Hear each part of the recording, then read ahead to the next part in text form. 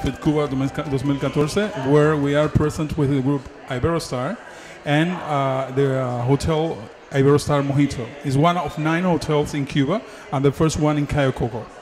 There you could, we will find, I mean, a very, very nice beach, a very nice uh, entertainment, and special pool areas. Welcome to Iberostar Mojito, and we'll be waiting for you. Bye.